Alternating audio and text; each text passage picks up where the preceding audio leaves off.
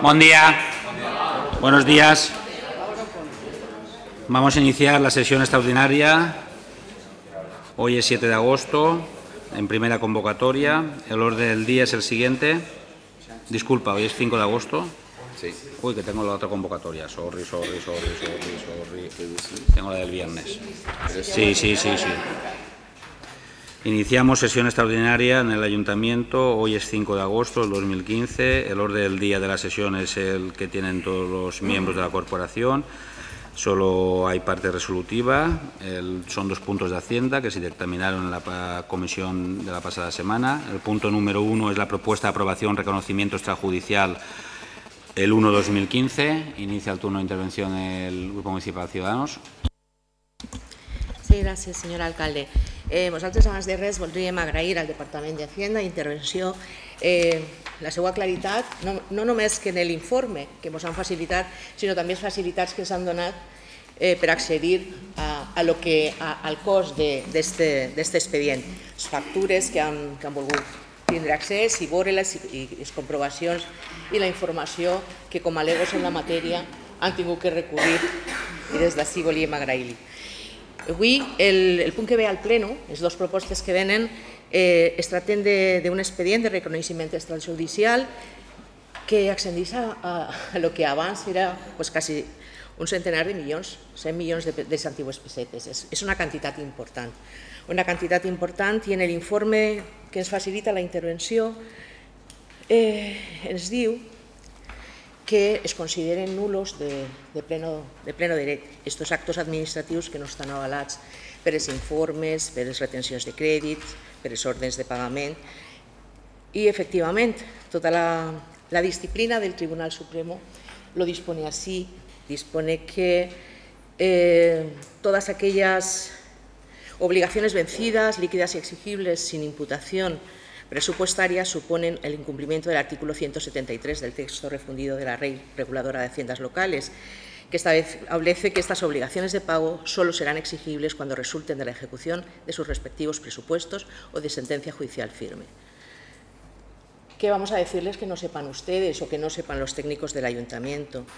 Efectivamente, entendemos que, que, que este expediente extrajudicial, pues en principio muchas de estas facturas sí han llegado en fecha en la que eran, se han podido incluir en el contable, o sea, eh, tienen el reconocimiento contable, pero no han podido ser abonadas en el ejercicio, puesto que han llegado quizá con demasiada, muy tarde al, al expediente, cuando el ejercicio estaba cerrado. Eh, pero también hemos observado que hay muchas facturas que son del inicio del ejercicio económico, con lo cual lo único que nos queda por, por entender aquí es que eh, son facturas que eh, proceden de servicios prestados sin el correspondiente amparo documental de retenciones y de órdenes o de crédito, en este caso. Pero eh, también la misma- el mismo Tribunal Supremo y la misma legislación nos indica que eh, correríamos el, riesgo, en caso de no incluirlas o de no abonar o de no hacer este expediente extrajudicial, de incurrir en lo que denominan enriquecimiento injusto o ilícito de la Administración, ya que hay un servicio prestado y que si no lo hemos hecho bien hemos sido nosotros, en este caso la Administración, y que indudablemente el proveedor, el prestador del servicio, no es responsable, no es responsable de esto. Vista toda la documentación, toda la exposición normativa que se nos facilita, pues aparte de alguna de, lo que ya comentamos en la, comisión informativa del 31 de julio, de saber si eh, este- estas facturas que hoy se presentaban, si en los, correspondientes periodos eh, económicos, en este caso el 2014 y en este primer eh, semestre del 2015, se habían pagado, se habían presentado expedientes de, extrajudicial correspondientes a estos ejercicios y se habían aprobado por no entender que, por ejemplo, quedaran pues, facturas tan nimias como 6 euros de una reparación o, o pequeños, pequeños gastos eh, que habían quedado, como, como se, se dice ahora, para pago en diferido a lo largo de otros ejercicios que no nos parece, no nos parece correcto. Bueno, hemos visto facturas eh, en partidas de publicidad, festival de cine, servicios técnicos. Realmente, eh, a veces, el plantear al cierre o a la presentación de unos presupuestos que, bueno, que estamos conteniendo el gasto, que estamos actuando eh, eh, correctamente en, la gestión del presupuesto, cuando al, tiempo observamos estas facturas, quiere decir que no se han corregido aquellos problemas que han podido ocurrir no solamente en tiempo pasado, porque creo que en el 2012 se pusieron al día, al día ejercicios anteriores a través del precepto y la norma legal, pensamos que se sigue actuando de esta manera. Nosotros, en Ciudadanos, hemos sopesado, por un lado, la necesidad y el derecho de cobrar las facturas pendientes de los proveedores que les asiste y, que ellos realmente no son responsables de, lo ocurrido. Y para nosotros esta no es una manera aceptable de trabajar y mucho menos como una práctica habitual. Entendemos que eh, no hemos estado, desde luego, en estos ejercicios a los que hace referencia este expediente, con lo cual pues tampoco sabemos cómo ha podido, cómo ha podido llegar a esta situación y también sabemos, somos conscientes de que el voto de cualquiera de los, de los grupos de la oposición pues no tiene un significado para la aprobación o no de este expediente, pero indudablemente somos también conscientes de que el 49,5% de los votantes de este municipio eligieron otras opciones políticas y por la responsabilidad de la parte alícuota que nos corresponde, pues entendemos que también tenemos que, manifestar nuestro, voto. Nosotros vamos a abstenernos, no, no somos eh, capaces, desde luego, de echar para atrás, aunque pudiéramos, por los votos, este expediente, precisamente porque nos merecen un enorme respeto las empresas y comercios eh, que, que son proveedores de este y de cualquier otra administración o empresa y entendemos que tiene el derecho a cobrar, pero desde luego tampoco podemos decir que sí a algo que no nos parece correcto. Eh, vamos a abstenernos, como he dicho, en estos dos puntos que pasan hoy a pleno y, a partir de ahora pues, eh, sí que tendremos una actitud vigilante al respecto porque entendemos que esta práctica, que yo no quiero considerar habitual y espero que no lo sea, desde luego es irreconciliable con la, con la transparencia y el buen hacer en la gestión económica municipal. Por lo tanto, ese será el sentido de nuestro voto. Muchas gracias. Viene el Grupo Municipal Gambien. Hola, buenos días.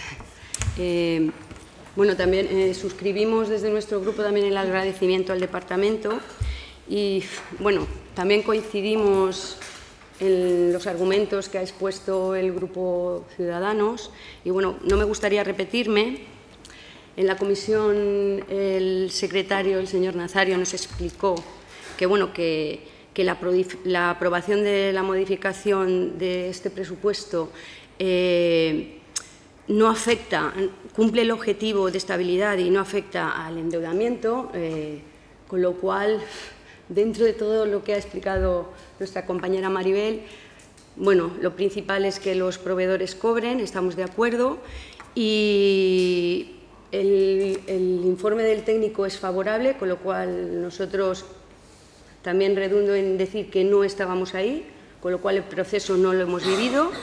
Estaremos vigilantes, como también ha dicho la compañera.